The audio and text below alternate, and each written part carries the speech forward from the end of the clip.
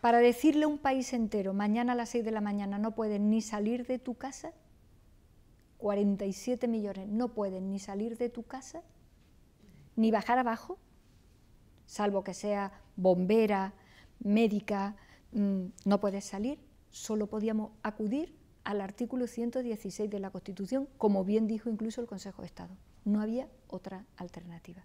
47 millones de personas en sus casas, sin paliativo. ¿Dónde estamos un año después? Estamos en otras coordenadas distintas.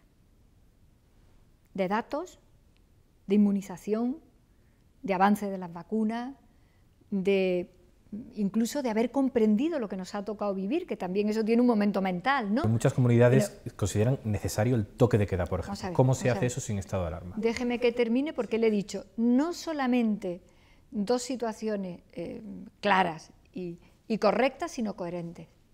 En esta situación en la que estamos ahora, que no tenemos confinamientos en los términos en los que los vivimos hace un año, donde necesitamos eh, eh, decisiones puntuales según también cada territorio. Imagínase que pudiéramos comparar ahora mismo cómo están Ceuta, Melilla, Madrid y el País Vasco, como está, por ejemplo, Canarias, o como están, por ejemplo, ya algunas zonas de Castilla y León que les ha costado mucho trabajo, de Aragón, de Cataluña. Una diversidad también de estas situaciones. ¿Qué es lo que nosotros decimos ahora?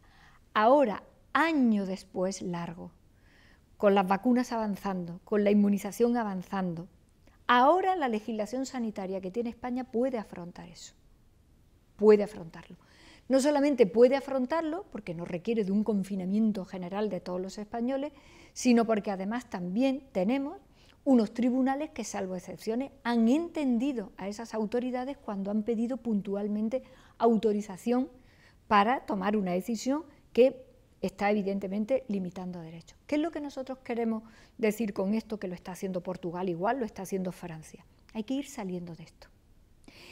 ¿Qué es lo que resulta chocante? Que quienes nos dijeron que no teníamos que decretar la alarma nos digan ahora que hay que mantenerla no sé cuánto tiempo. Que quienes votaron en contra, con peores datos que los que tenemos ahora, nos digan que el día 10 la votarían a favor. No es creíble.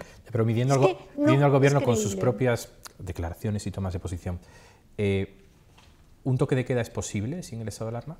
Vamos a ver, los gobiernos autonómicos, con la legislación sanitaria de nuestro país en la mano, comunicando a la autoridad pertinente, pidiéndole permiso para determinadas situaciones, digamos, extremas, lo pueden hacer. Por ejemplo, el toque de queda.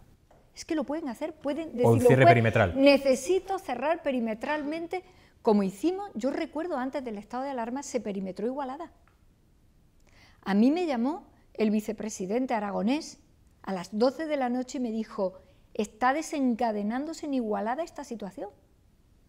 Y yo le dije, pues tenemos que reaccionar. Y ambos decidimos que había que cerrar igualada sin decreto de alarma. La autoridad correspondiente entendió automáticamente que se había desatado un, nivel de contagio tremendo y que se trataba de acordar. Vamos a ver, eh, eh, yo quiero aquí poner el foco en algo muy importante. He dicho al inicio de esta entrevista, la oposición ha utilizado la pandemia para hacer política.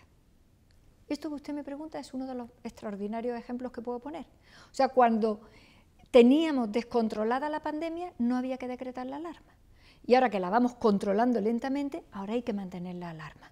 No puede obedecer entonces a criterios razonables. Pero es que es más, cuando alguien dice, se puede decretar la alarma en un solo territorio, que por cierto alguien lo ha descubierto ahora, pues se podía haber leído la ley del 89 y lo descubierto antes. Pero es que es más, Alguien dice, se puede decretar la alarma en un territorio, lo puede pedir un presidente o una presidenta autonómico. Automáticamente ha salido alguien y ha dicho, no, la alarma de todos por igual.